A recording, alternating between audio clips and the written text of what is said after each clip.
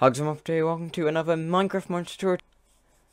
So today's tutorial is super simple. What we're going to be doing is we're going to be adding CJCore, my API, to our uh, modding environment. Now, currently this isn't quite how I want it.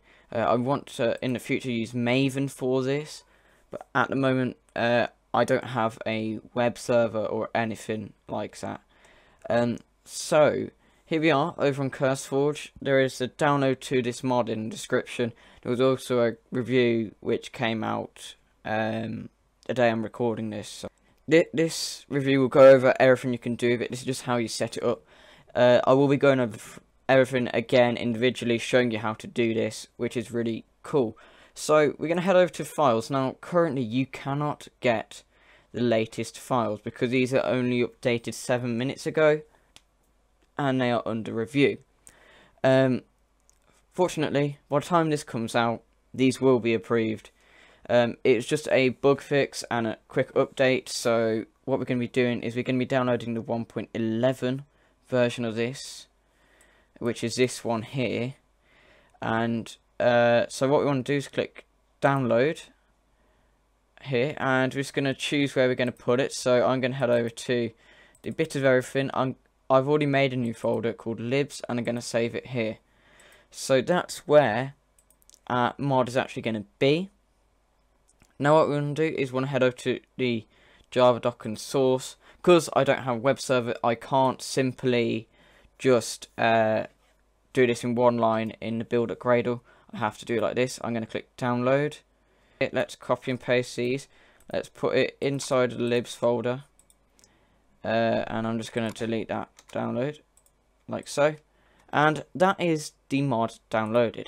So if you head over to uh, Eclipse I'm just going to right click on this. We're going to go to uh, build path uh, configure build path and down in libraries we want to add external jars. And it's already here. We want to add this jar here. You want to go to source attachment. It's in the workspace. So it's workspace libs and then it's the sources okay. And also the java doc is in archive workspace file. And that's also in libs and that's java doc like so. So if I apply this should be able to see that under here somewhere here we should have CJCore. Um, it's normally around about near the bottom. I'm trying to find it.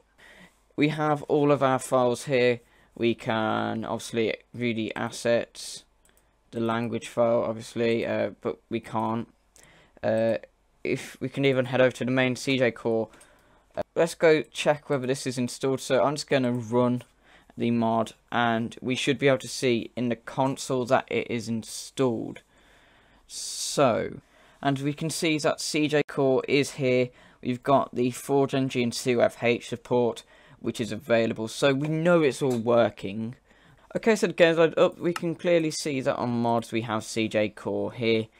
Um, that hasn't updated for some reason. That is something I will have to do. I did not realise that was a thing. Um, yeah, I've better update that. Um, so it can easily go into the world. And like I mentioned, when there's an easy version, I'll do it. Um, yeah. I need to update that. That's a bug. Okay, uh, so I'm going to update that as soon as I can. Uh, you can see that the multimeter is here. It won't work because there's no blocks here that actually require the, uh, well, have energy. So, yeah, but we can see it's working. So, I'll fix that bug for you guys. Thank you guys for watching, like, comment, and subscribe. I am out.